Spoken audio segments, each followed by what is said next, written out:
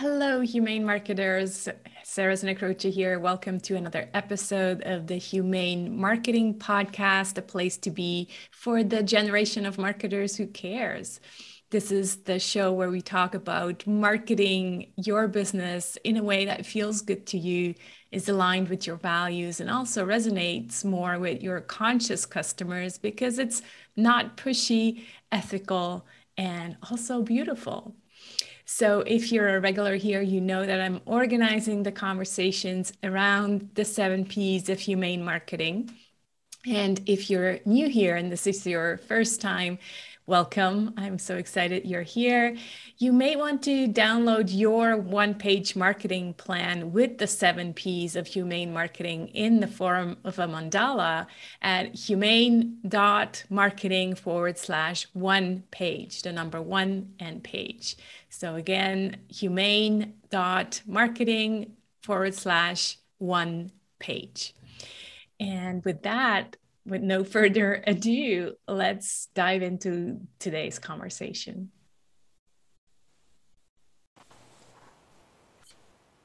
Hi, Tami. So good to have you on the podcast today. Great to be with you. Wonderful. You are like one of these voices that I could listen to all day long. You have this just like, I don't know, it's some it, like it's anchored and it's calm. And it's just like, oh, it feels so good when I hear your voice. Do you ever get that? Like, do, this, do other people tell you that? Well, I'm glad you like it. Not all people respond positively. I have received uh, mail that says things like, sounds like you work at a mortuary or have you smoked too much hash before you start speaking? So there's, you know, there's a full spectrum of okay. But mm. I also enjoy your voice, mm, Sarah. Mm, it's a sweet and gentle, so it's wonderful.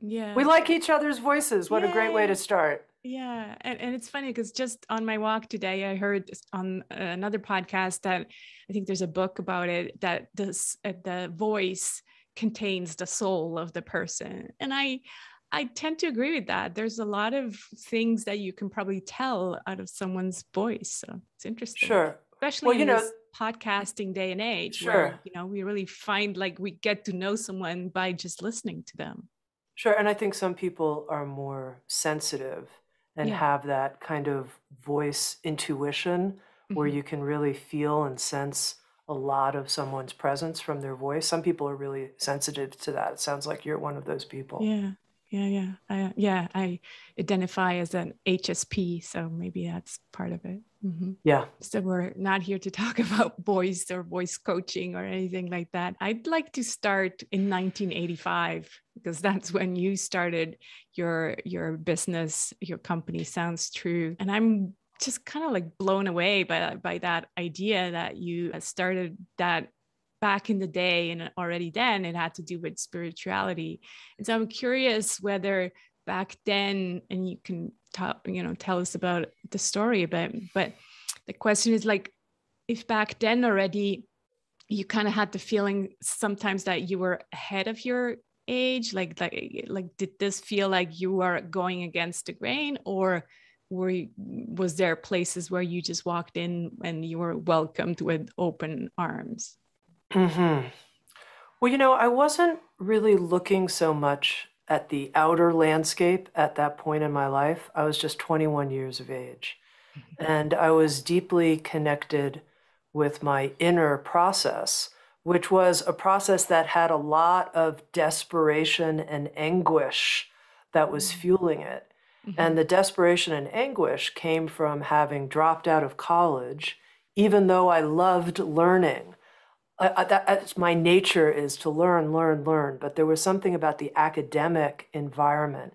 It wasn't the kind of learning that was uh, vital to me. The kind of learning that was vital to me had to do with direct experience and discovery and the inner journey of knowing what happens when we die. Is there any way to discover that? And how could I know in my own experience? Mm. Those kinds of questions. So mm-hmm. I had a lot of existential foment inside of me that I was in touch with that brought me out of academia and brought me into okay, is there a way for me to actually use this love of learning to make a contribution in the lives of other people and possibly even have a job. So that was kind of what was going on inside of me. And there was no ready made seat at the table. This was far before the whole idea of mindfulness and meditation was mm-hmm. popular. But I was coming from the inside, wanting to make a contribution using this love of learning that is so intrinsic to me. And was it always because now you talk a lot about, you know, spirituality in life and work. I think that is when I look at some other spiritual teachers, that is how I see you differently, that you have this focus also on the professional lives that we all, uh, or most of us, lead. Uh, was that always a priority, or was it first like, you know, let me get to know myself and, and let, let me kind of sure. spread the word about that first? Sure. Well, I never had an active interest in business as a mm-hmm. young person.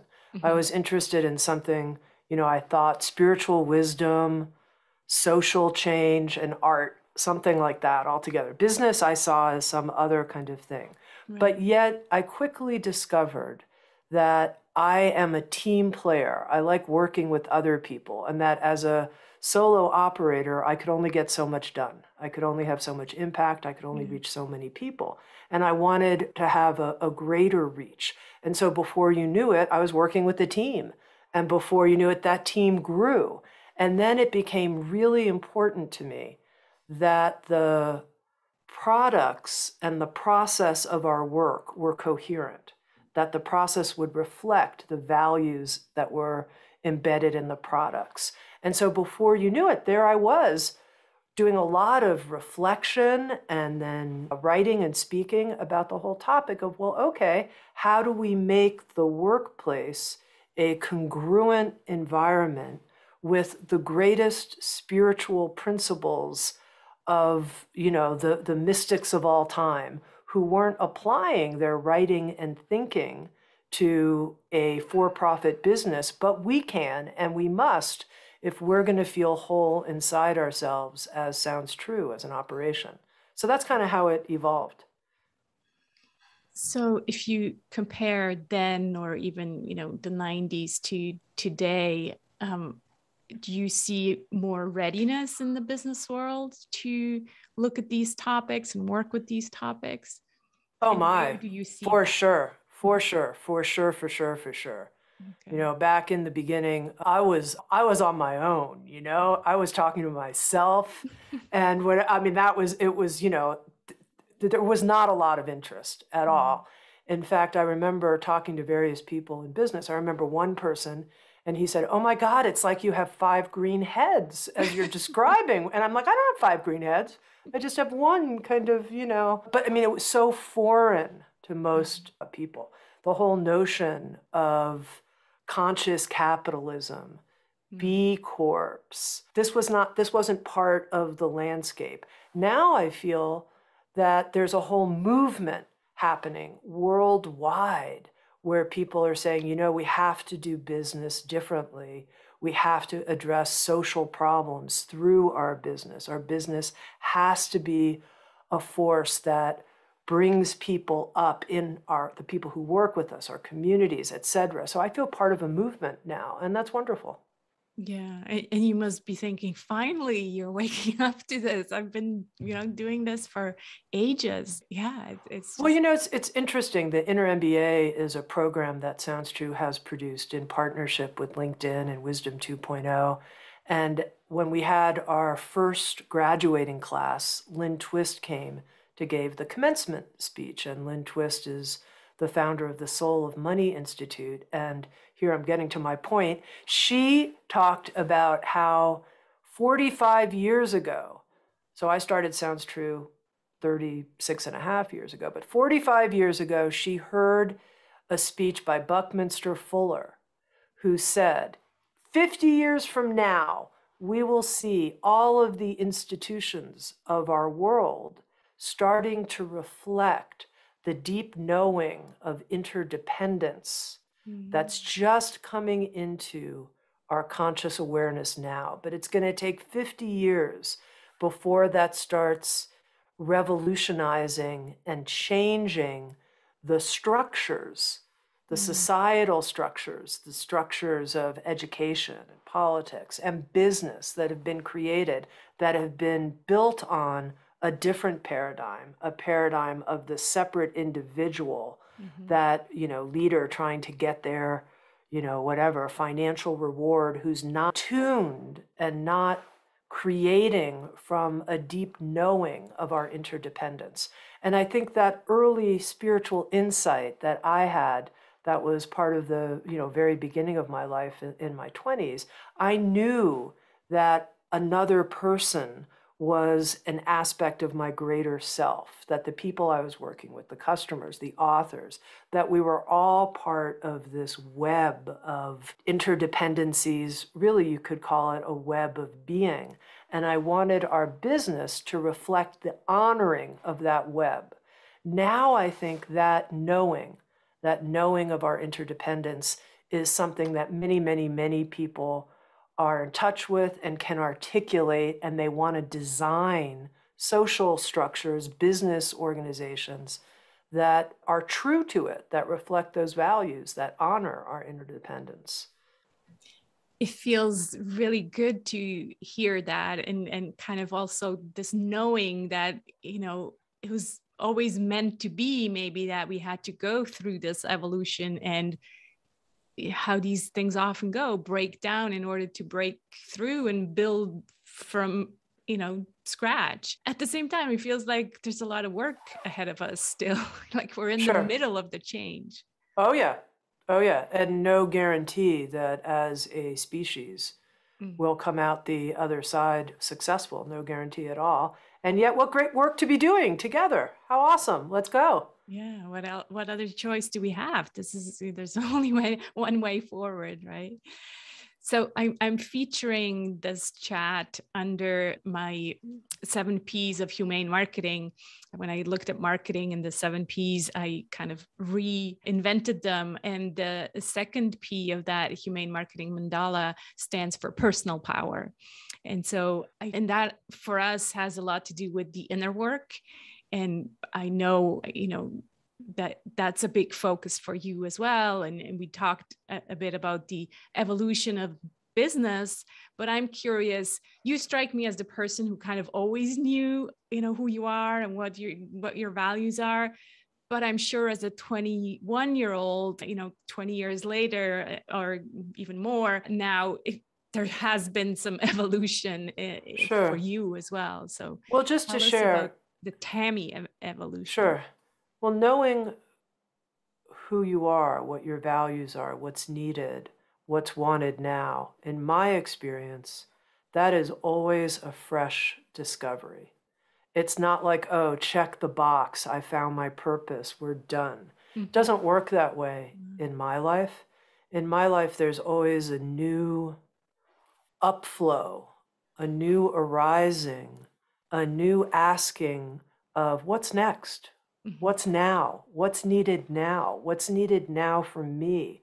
What I was doing previously, as fulfilling as that was, that was then.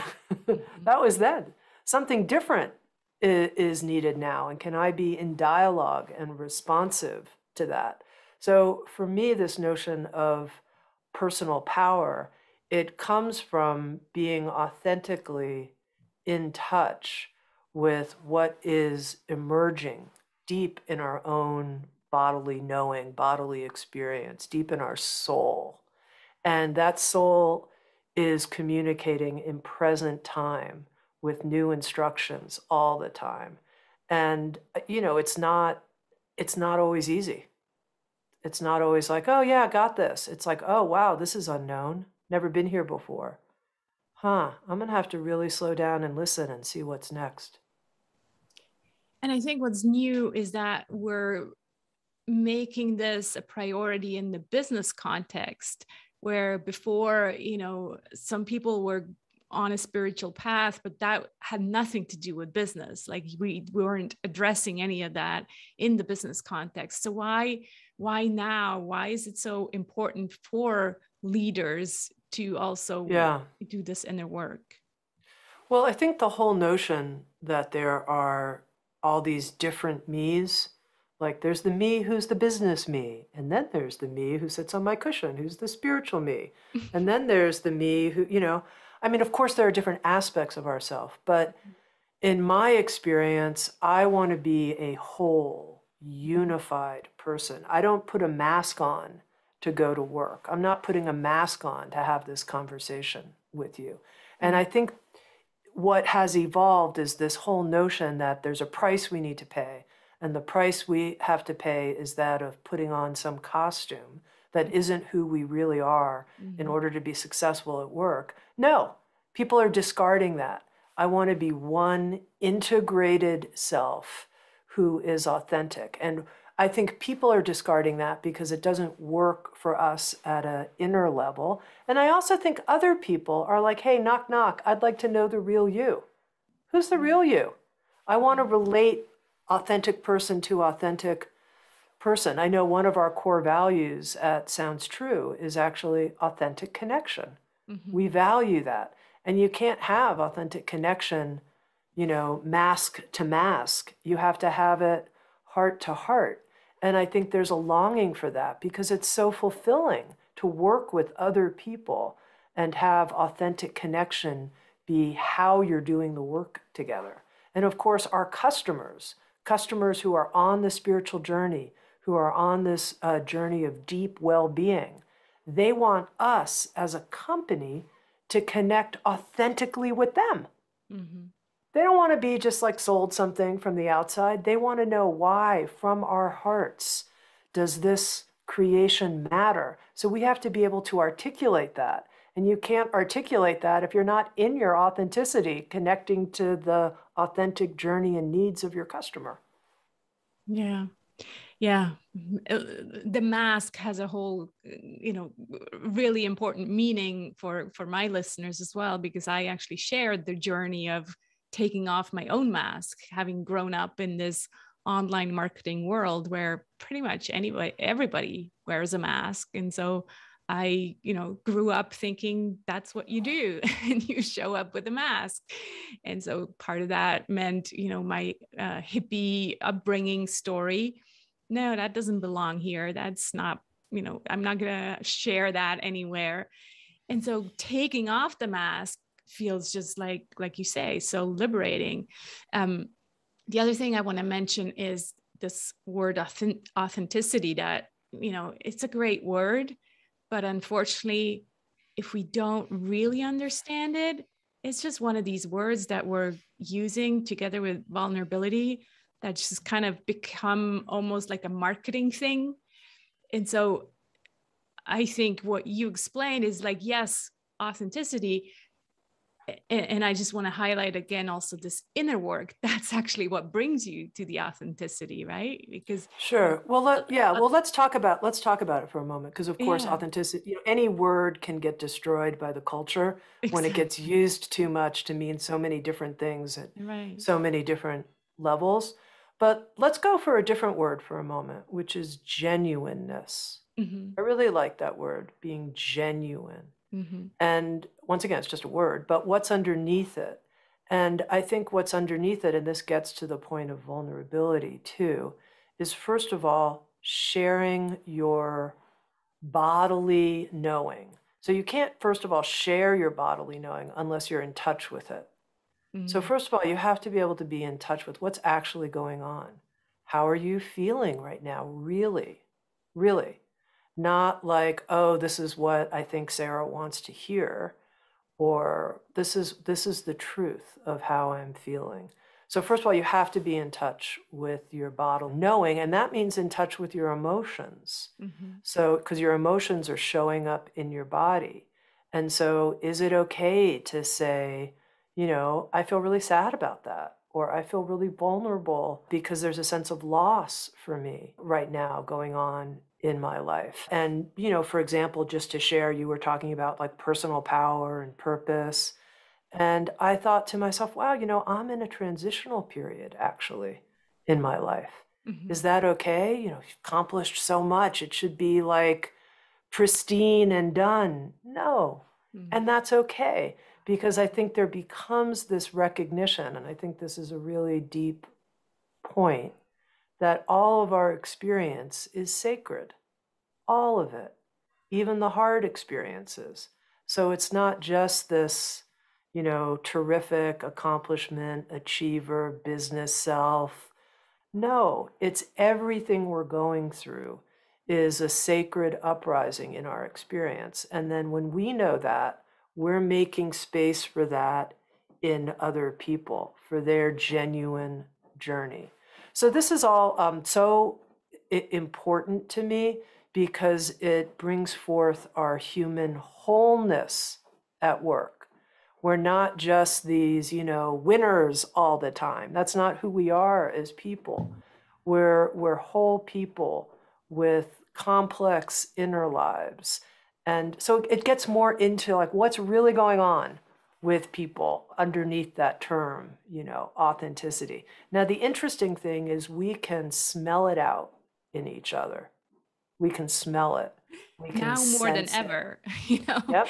If, if we weren't able before, now we definitely are. Yes. We can sense it. We can sense people who are posing. Mm-hmm you know they're posing they're using authenticity as part of their you know whatever that's different than meeting a real person with all of their messy blood guts and glory right there in front of you and you can feel it.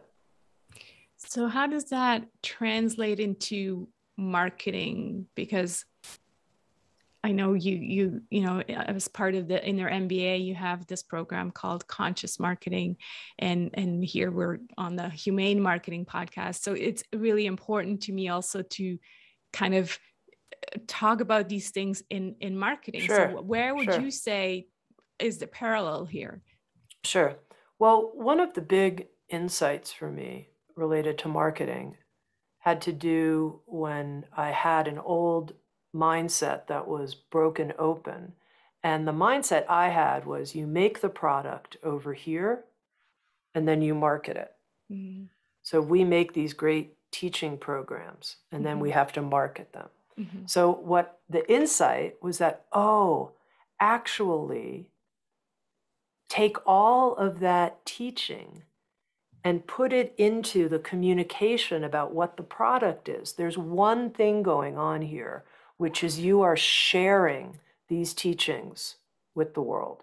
What you care the most about, you are sharing with other people. You're baking it into the product and you're baking it into how you talk about the product. Oh my God, it's not a separate thing. And then I got really excited. And I was like, oh, this is simply about communicating teachings in a different way than the way they're encoded in the program itself. It's about talking about it. And then it's like, oh, okay, I want to share what's really most meaningful to me. Why did I make this program in the first place? There was a deep motivation behind it. Talk about Yeah, we talk a lot about worldview over here. So so really making your worldview part of your marketing and and you know for you that means a, a, world where spirituality and business you know go hand in hand and and for others their worldview is you know has to do with mm, climate crisis or whatever it is bring that bring more of that that vision and that passion into your marketing. I think that's what what yeah makes it authentic again that word but but that's where it, you can tell that it's real. Another thing that i often say is that we need more explanations like in, because marketing has gotten a bad rap so we need to actually be extra careful to explain everything we do so in uh, as an example if you are doing a you know a one day sale or something like that well explain why the real reasoning and and uh, you know a lot of explanation i think in order to regain that trust that mm-hmm. probably be lost in marketing mm-hmm. well one thing to say is you know i so i like to write and as mm-hmm. someone who likes to write, I can sometimes notice when I'm writing and something's not quite working, I'll say to myself, go deeper, Tami. What mm. it you actually need to say right now? Mm-hmm. What is what is the soul force behind this thing? tell more of the truth. Mm-hmm. Mm-hmm. Lay it out more. Like you're on the surface right now. You're on the surface. Go deeper, go deeper, go deeper. And I notice that when I write and it really hits, it's because I've come right, I've been willing to share what's really that deep truth inside of myself. So I would say the same thing about marketing and also this notion of authenticity that there are these levels. And so can you peel off that level? Can you peel off the other level? Peel what is actually that thing way deep inside of you? That's the actual underneath truth. Say that. Yeah. Yeah, and, and that's another thing I kind of had on my bullet point list is is the word truth because it's in your you know in your company name, so that must be like your favorite word and your kind of like your leading value. So so tell us how that looks like in your company in your marketing and kind of how you sure. see it evolve in the business world as well. Sure. Well, you know, just like I was saying, you can kind of sniff out whether someone's like, how real are they really? Like, you can kind of feel it. I think it's also when someone's speaking, you can kind of sniff out, are they are they telling me the truth right now? Like, what's going on? What's what's really happening here? And I think one of the things I noticed is that when people come forward with what's deeply true for them, I have a relaxation. I feel relaxed. I'm like, oh, mm-hmm. okay, that's what's going on here. Because I don't have to figure it out. Yeah. I don't have to be like, what's really happening? Like, why are they really, you know, la, la, la? Just tell me.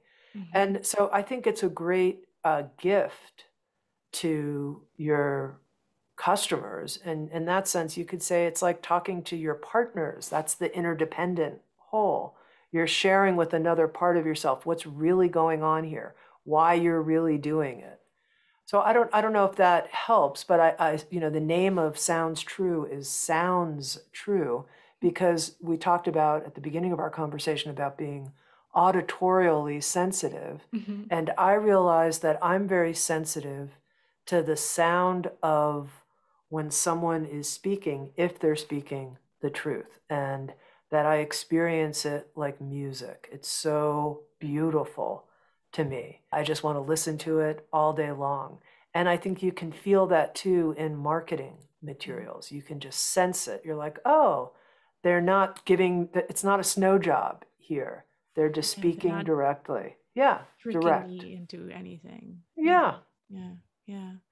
Yeah, it reminds me of my walks in nature. You just know what you see is what what's true you know there's nothing to change. Your mind gets a break because it doesn't have to try to figure out what's not working and what needs fixing. No it's all just perfect as it is and and it's true. The way you know nature is always true and, and right. So yeah that's what comes up for me. Yeah you know sarah what i'm reflecting on as we're talking, kind of, because once again, it's about this willingness to listen and deeper and deeper levels to things, is that if we're not comfortable making money, hi, I enjoy making money. When I make money, it allows me to pay my staff really well. It allows me to live an abundant and beautiful lifestyle that's enriched with beauty and opportunities and a sense of freedom. It allows me to reinvest in the growth of our company and we can reach more people and be more expansive. I enjoy and need, Sounds True, to be a company that makes money. If you're not comfortable with that in your business, then you can't also be comfortable communicating with the values of your products because you're always doing this dance around a weird relationship with money. So I would say one thing is get really clear about having a healthy relationship with money where you enjoy and need to make it, but that doesn't make you greedy. It doesn't mean you're not deeply interested in seeing everyone rise. And in fact, you're baking into your organization ways that you can either uh, have a nonprofit arm like we do at Sounds True, or other ways that you're giving back to the community and supporting people who don't have the financial resources to perhaps access your products. I think of one of the CEOs who's part of the Inner MBA who started Bombas socks. For every pair of socks they sell, they give one to a homeless person. They've given away millions of pairs of socks. It was part of his original inspiration. And so he's able to talk about buying Bombas socks and giving socks to homeless people all at the same time. And he can be in his heart around it mm-hmm. because he's congruent deep inside about what they're trying to do with the business and how those sales promote a, a, world where we're all rising together and where the money from the business is going. So I think we have to clear that all up so we can be transparent about it. Yeah. Uh, I find it interesting that you bring up the, the, the topic of money because it's obviously a sensitive topic to you know I know for my listeners for myself and I you know there's inner work in, included in that journey with that with money in, in in my book selling like we're human it is you know the first step to have a real conversation with your money and money story so that you can relax and then really just have a human conversation around investing in your services and not get all tensed up the minute the money comes into the into the game. So so so essential. And and you're right.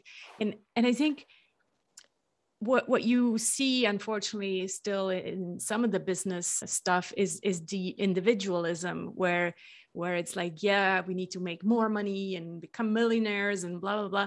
But what's missing there is is the third win, which is the collective and the planet, right? And and you're clearly saying, well, no, it has to. If we make more money first, yes, we need to be in abundance ourselves so that we can support ourselves. But then let's, like you say, right, right rise is a rise or raise together rise together all of us and and and and we can only do that if we first look after ourselves yeah mm. so i think it's really important for people to put into their original product design mm-hmm. how the the funds raised are going to be of benefit to other people who don't have access to the same financial resources. And if you put that in in the beginning, then you can stand in what you're doing in, in a certain kind of way and stand in the generosity of what you're doing as you market your products. Would you also say that, of course, that makes the founder or the owner uh, feel good? Would you also say, given the evolution of business, that that is going to be a key differentiator for the customers, meaning, you know, the Gen Z? Sure. But I think the key is you can't just do it. You can't just do anything because you think, oh, this is now going to appeal to. Co-. You have to be real about it. Like, give some real money away from your profits. Like, actually do it. Yeah. not just some kind of performative thing. I, I so anything anything can become performative. And you know, the good news is that people sniff it out, which is a theme that we've been talking about in this conversation. And so it, it, it has to be because actually that's something you value. It matters to you mm. because it is part of that realization. It's a realization. It's not negotiable. It's not a strategy. If it's a strategy, it's weak. If it's because you really want this group of people who are connected to what you do to benefit from your work, and otherwise they wouldn't have access, and it's really alive for you, then it will also be alive for your customers and they'll sense it. Yeah. Yeah. And, and as a leader of a bigger business, of course, maybe the founder has to look at these values, but then the whole team, I'm sure your whole team is aligned with all of that because that's again it, it works from the inside out right yeah mm. and it's important you mentioned it's important to potentially gen z customers it's really important to employees Yeah. You know, here in the United States, at this point in the pandemic, we're going through something people are calling the great resignation, yeah. where so many people are leaving mm-hmm. organizational life and saying, yeah, it's just not worth it. No. I think I'm just going to go off on my own and do something or other. There's no way I'm going to keep working for this organization, you know. No. And so your organization has to be doing something truly meaningful, mm-hmm. truly meaningful for people to say, yeah, I want to give you my time and energy at this point. And I think it's actually also the employees who will hold the company or the management accountable that um, it's the truth and that they're actually doing it and implementing and measuring, you know, what whatever they're saying, so that they're actually walking their talk. So, yeah, so good. Wow. Tell us more about Sounds True and the Inner MBA and where people can listen to your amazing podcast and find out more about you. Sure. Well, come check us out at soundstrue.com. All of our resources are there. Our Inner MBA program is a nine month program. We're in our second cohort. The next cohort won't start until September of 2022. But we also have a generous scholarship program that's part of the Inner MBA because our goal is to make training of inner development connecting with that soul force and having it be imbued throughout every aspect of our business to make that kind of training as widely accessible as possible. So, yeah, come check us out at soundstrue.com. Thank you. I have two more questions, if you may. Sure. Yeah. Um, where do you see and how do you see business evolve over the next decade? Hmm. Well, that's a big question. I think that the awareness of climate change as a business issue is something that we're starting to hear many brilliant entrepreneurs address. And thank goodness, because I'm not convinced that we'll have enough solutions fast enough from political action, mm-hmm. but from creative entrepreneurs who are motivated to s- solve all kinds of problems and who are brilliant at it. Let's go. Mm-hmm. And so I think we're going to see a lot more of investment dollars and a lot more creative entrepreneurs looking to solve climate change from all kinds of things whether it's carbon architecture or you know innovations that work with different kinds of algae i don't know i think there's so many opportunities there so that's one thing uh, i also think this whole notion that business is a place where we get to grow and evolve as human beings and where we must grow and evolve that business is an incubator for the deep human journey of adult development. Adult development meaning we're learning all kinds of greater skills than we learned in our original college training about emotional intelligence, about deep listening skills, all of this. I think business will be seen as an incubator for the highest levels of adult development. So I also think we're going to experience that. I think that more and more businesses will understand that we're living in an age of transparency. And that means that you can't hide stuff. So don't. Don't do things you need to hide because you can't. So I think that's also going to become more and more apparent. I also think what you're working on, which is authenticity and marketing, whatever language, I think people are just so sick of being sold anything. They don't want it anymore. I'm done. You know, I, I remember at one point I was uh, talking to a mentor I work with, and I was talking about a presentation and how I wished I had said something slightly better, that I wasn't as clear as I could have been. And she said to me, Tami, people don't need perfection right now. You know what they they just need people to be real. Yeah. Like, were you real? And I was like, oh, yeah, I was actually. And I was like, I can do that every day. I can do that every That's time. Actually easy, right? yeah, it's not that hard. I was like, perfect is hard. And She's like, people don't need perfect. They're done with it. All the polish, all the everything. Mm-hmm. So I also think there's a hunger. There's just a hunger for the type of genuine presentation. Mm-hmm.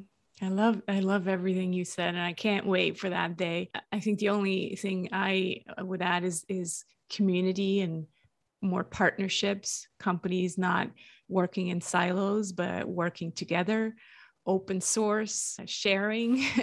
yeah. And, and it's the opposite of individualistic capitalism, right? So, yep, that's a great thing to add. Mm, yes. Yeah. I said I had two questions. So the last question is what are you grateful for today or this week? Tam? Oh.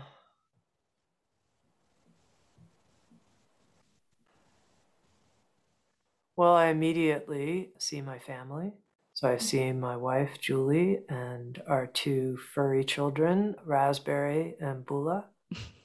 and then I feel grateful. I see the faces of many of the people I work with. That Sounds True.